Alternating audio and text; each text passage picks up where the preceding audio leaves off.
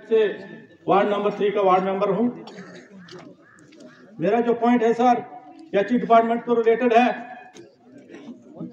जब हमारी पंचायत नहीं बनी थी तो उससे पहले वहाँ पे फ़िल्टर प्लांट बना हुआ है, और वो तीन मंजिला फ़िल्टर प्लांट है सर लेकिन उसमें अभी तक पानी नहीं डाला गया है। फ़िल्टर वो उसका यूज़ नहीं हो रहा है।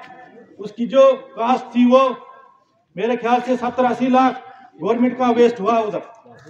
तो मेरी रिक्वेस्ट है डीसी साहब से कि जल शक्ति डिपार्टमेंट को ये बोला जाए क्योंकि जितने भी प्रोग्राम होते हैं बैक टू विलेज होता है पब्लिक दरबार होता है, मैंने हर जगह ये बात कही है, लेकिन अभी तक उस मसले को हल नहीं हुआ है। दूसरा दूसरा पॉइंट मेरा सर यह है रोड को लेकर हमारे चंबा रोड से अपर पुनेजा के लिए रोड की बहुत ज़रूरत है। हमने कई बार मांग रखी, लेकिन आर एंड डिपार्टमेंट से मेरी रिक्वेस्ट है कि वहाँ पे रोड को सेंशन किया जाए। दूसरा मेरा पॉइंट है sir R R D D department को लेकर के। आप देखें सर भद्रा ब्लॉक जो है, कितना बड़ा ब्लॉक है, तीस पंचायतें भद्रा ब्लॉक के अंडर है। इसको, इसमें से तीन ब्लॉक बनाए जाए। एक अठार ब्लॉक, एक हमारा घटी बोर्ड ब्लॉक और एक मेन ब्लॉक, क्योंकि बाकी हमने ब्लॉकों में देखे हैं। पाँच पाँच पंचायतें एक ब्लॉक के अंडर होती हैं।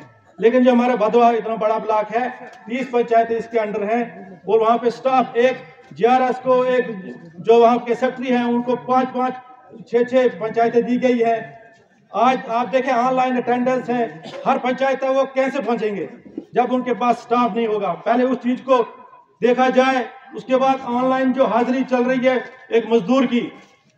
और मैं ये कहना चाहूँगा कि 227 पे दिहाड़ी है मजदूर की जो आरडीटी डिपार्टमेंट की तरफ़ से। है उसको बढ़ाकर 500 किया जाए ताकि अगर 227 पे आप काम करोगे एक मिनट सुनिए आप सरपंच हैं? पैंच हूँ सर मैं पैंच। पंच? हो यस सर वो चीज़ मांगिए जो दी जा सकती है।